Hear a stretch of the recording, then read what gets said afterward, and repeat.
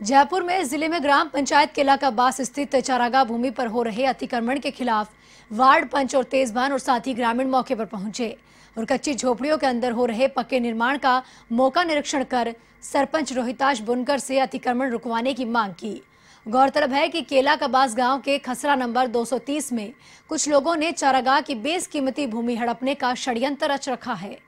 ग्रामीणों का ये भी कहना है कि पूर्व में एसडीएम और साथ ही तहसीलदार सहित हल्का पटवारी को लिखित में इसकी शिकायत भी दे चुके हैं। लेकिन प्रशासन की ओर से अभी तक इस मामले पर कोई कार्रवाई नहीं की गई।